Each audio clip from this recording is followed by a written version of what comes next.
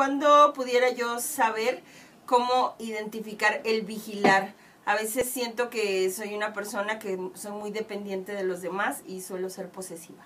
Mm. Muy bien, pues esto introduce directamente en esta última parte, porque la última palabra de Jesús dice, lo que os digo a vosotros, lo digo a todos, velad.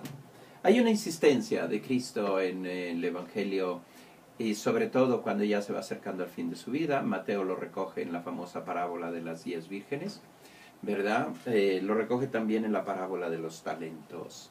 La vigilancia es eh, una vigilancia cristiana, una vigilancia serena. ¿Cómo puedo yo aprender eh, a vigilar? Soy posesiva. Pues ahí ya tienes un primer paso, ya lo sabes. si sabes que tienes una dimensión de tu vida, que tiende a la posesión. Normalmente la posesión de una persona es por inestabilidad interior, no tengo la plena seguridad. Como no tengo plena seguridad en mí mismo, tiendo a poseer al otro, ¿verdad? Es el asunto de los celos también. Todo eso no es un amor verdadero, verdadero en el sentido no porque no haya amor, sino porque el amor verdadero se tiene que dar dos dimensiones muy importantes.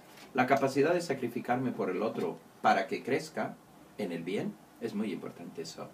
La verdad del amor no quiere decir que tengo sentimientos hacia esa persona. Quiere decir que tengo una capacidad de sacrificarme por su bien. Y por su bien con mayúscula, no por su bien con minúscula. Yo no voy a sacrificarme a comprar droga para mi hijo porque esto es lo que él quiere. Evidente que no le estoy haciendo bien. Yo no voy a sacrificarme para comprar alcohol para el otro. ¿Por qué? Porque no le estoy haciendo un bien. Y digo droga y alcohol por no poner otros datos. Entonces, eh, cuando una persona vive en esta situación, o de celos, o de, no, no tiene un amor verdadero de un sacrificio y sobre todo no tiene un amor de libertad. Libertad que quiere decir rectitud de intención. Es muy importante esta dimensión de la libertad en el amor. Cuando una persona dice, pues no sé cómo estar atenta al amor porque yo tiendo a ser posesiva, quiere decir que no dejas el espacio de la libertad de la persona amada. Y cuando uno ama, debe dejar espacio de libertad. Y volvemos aquí otra vez al punto de arranque. Eh, una libertad no quiere decir libertinaje. Evidente que una mamá no porque ama a su hijo lo deja en la total libertad. Lo se llama una libertad vigilada. ¿Por qué? Necesito vigilar cómo estás usando tu libertad. De hecho, la palabra educación no quiere decir otra cosa que acompañar a una persona en el recto uso de su libertad. ¿No? Acompañar, yo no te impongo una cosa, yo te acompaño para que tengas un recto uso de tu libertad. Entonces, casi, casi como si hay una herramienta en tu vida. Dices, te voy a enseñar a utilizar esta herramienta. Ahora que todos tenemos la computadora, todos tenemos los teléfonos, descargamos algún programa y normalmente utilizamos 10, 15, 20% de lo que ese programa te da. Luego cuando llega un experto y ves que hace otras cosas, ¿cómo le hiciste para hacer esto? ¿Cómo le hiciste? Ah, pues mira, esto se hace así. ¿Quién es? El experto te dice que eso se hace de ese modo. Entonces tú te das cuenta de pronto que la herramienta estaba en tus manos, pero no sabías utilizarla. Bueno, la libertad es más o menos eso. El amor es más o menos eso. La vigilancia es más o menos eso. Es decir, vigila para que veas las herramientas que tienes en tu mano, en tu vida, y la sepas usar correctamente. Comienza por vigilar sobre aquellas herramientas que estábamos hablando un poquito antes. No son fuera de ti, son las herramientas interiores. Piensa en tus sentimientos. Yo soy una persona posesiva. ¿Qué estás haciendo con esa herramienta? De tus sentimientos. Piensa en tu capacidad de discernimiento de las situaciones. Tienes que tener una vigilancia sana para poder discernir en cada situación qué es lo que debes hacer. Es una vigilancia. Jesús invita a esa vigilancia. Aprende a utilizar las herramientas que tienes para orientarlas al fin que quieres. Casi siempre se nos olvida en la vida qué fines quiero. Cuando tú preguntas a la persona, ¿qué quieres hacer con tu persona? Pues se te quedan viendo, abren los ojos, ¿verdad? Como dos platos. ¿Cómo que qué quiero hacer con mi persona? Eres tú quien decide lo que quieres hacer con tu persona. Cristo nos invita a vigilar, dice, lo que les digo a vosotros, los apóstoles, el pequeño círculo, lo digo a todos. Todos tenemos necesidad de esa vigilancia, ¿verdad? Voy a contar una cosa que me sucedió en Tierra Santa, nada menos que en el huerto de Getsemaní. Estábamos en el huerto de Getsemaní y pues ahí te dan los horarios de misa, ¿verdad? Iba a celebrar la misa. muy restringidos. Tienes media hora exacta eh, normalmente. Normalmente, ¿por qué? Porque hay muchos sacerdotes que quieren celebrar y entonces le dan a cada uno media hora. Por lo general se quitan los cantos y todo lo que pueda alargar la misa, ¿no? Es una misa muy esencial. Bueno, pues imagínate que yo ya estoy revestido, ya voy a salir puntual y llega un sacerdote, pero un sacerdote, y me dice, ¿me puedes confesar? Yo digo, mm, ya estoy en el tiempo, tengo que empezar, no, tengo que empezar la misa, no me lo pidas ahora, ¿verdad? Bueno, pues bien, llega esto y pues le digo, él, bien, se quería confesar, purificar antes de celebrar su propia misa y aprovechar aquel momento. Y entonces eh, termina su confesión, muy bonita, sincera, ¿no? Que traía un, problema que tenía que solucionar.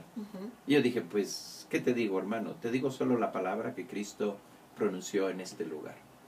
Y en este lugar dijo a sus discípulos, vigilen y oren para que no caigan en tentación. Tiempo de adviento, ¿qué es?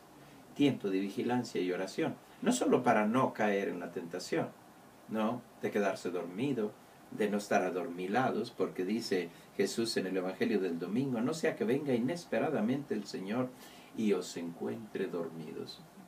Lo mismo le sucedió a los discípulos, se quedaron dormidos. Quedarse dormido, ¿qué significa este quedarse dormido? Significa no darme cuenta de lo que está pasando a mi lado estar amodorrado en la vida, se te va la vida. Cuando despiertas dices, ¿qué he hecho en mi vida? ¿Qué he hecho en mi vida? No he hecho nada en mi vida. ¿no? ¿A qué he dedicado mi tiempo más precioso? Yo exagerando un poco, digo, cuando lleguemos al cielo nos va a decir el Señor, te entregué 80, 90 años de vida. Fíjate que pasaste 32 años sentado viendo la televisión. ¿Cómo? 32 años de tu vida viendo televisión. ¿Cuánta televisión ves al día? Pues eh, tantas horas. Multiplícalo por 365 días del año. Y, por tus... Eh, y, multiplícalo por los 80, 70 años que tuviste para ver televisión. Dice, yo te mandé al mundo a ver tele. ¿Qué hiciste con aquellos talentos? Vigila sobre lo que te entregué. Te entregué el gran talento que todos tenemos en la mano, que se llama tiempo. Vigila cómo usas tu tiempo. Bueno, pues tengo tantísimas cosas que hacer. Sí, pero las hacen las cosas que son esenciales y importantes, ¿verdad? Porque hay cosas importantes y hay cosas necesarias. A veces hacemos cosas urgentes dejando las importantes. Es urgente hacer mil cosas, pero lo importante es tu familia. ¿Qué tiempo das a tu familia? Porque son las cosas eh, más importantes.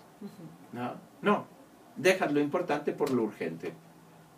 Y cuando te das cuenta, ah, la cosa importante ya se cayó. El hijo ya creció, la hija ya creció, y anda en problemas de los cuales no los puedes sacar, eh, situaciones incluso de trabajo. Eres una persona que trabaja, no estás suficientemente atenta, ¿verdad? ¿Y aquel, qué pasó con aquel trabajo? Pues pierdes las oportunidades.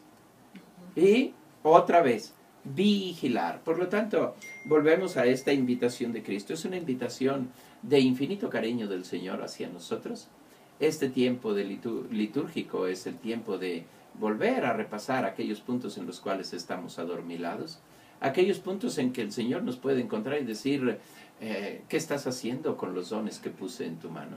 Dijimos, son dones preciosos. Tu familia, tu persona, tu salud, eh, tus, amistades. ¿no? Muchas veces no cultivamos buenas amistades. Y cuando tú preguntas a las personas, ¿cuántos amigos tienes? Y casi a todos nos sobran dedos de una mano para contar los auténticos amigos. Pero no porque no existan buenos amigos. La verdad que sí existen, pero no les he dado el tiempo necesario para cultivar óptimas y buenas relaciones. ¿Qué es lo que nos pide?